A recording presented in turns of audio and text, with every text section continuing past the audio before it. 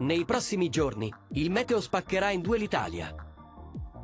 A est tempo instabile, con precipitazioni, nevicate a bassa quota e temporali. A ovest il tempo sarà migliore. La circolazione depressionaria insisterà ancora qualche giorno, con residui soltanto al sud. Da Pasquetta, il tempo migliorerà. Tornerà l'alta pressione, quindi tempo soleggiato, stabile e temperature in salita.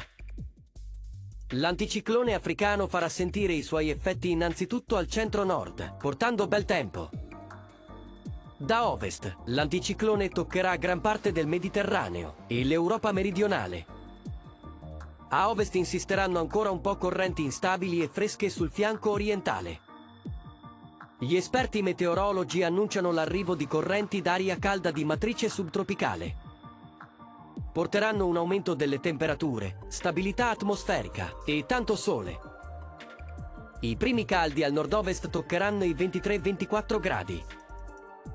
I valori supereranno i 20 gradi anche nelle regioni centrali del versante tirrenico e nelle due isole maggiori, sulle regioni adriatiche e sul Triveneto. Il meteo sarà stabile e le temperature con qualche grado in meno. Dopo le festività pasquali tornerà la primavera, ma il bel tempo è destinato a durare poco. L'alta pressione in altre occasioni ha dimostrato di persistere a lungo. Stavolta le condizioni meteo potrebbero cambiare di colpo arriverà una perturbazione dal nord Europa, che provocherà al nord diversi eventi, come nubi, venti forti, acquazzoni. La perturbazione sarà destinata ad estendersi al centro-sud, causando notevoli contrasti amplificati dall'aria calda.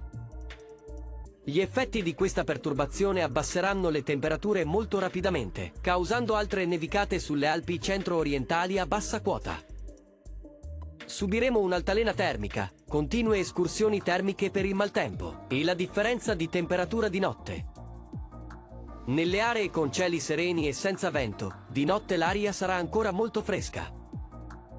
Sud e Sicilia verranno appena sfiorati da questa perturbazione che si sposterà verso est. Ci attende un prossimo fine settimana con maltempo, che dopo aver attraversato il centro-nord, toccherà anche le regioni meridionali. Attendiamo prossimi aggiornamenti dagli esperti. Se il video ti è piaciuto, metti mi piace e iscriviti al canale per ricevere tutti gli aggiornamenti.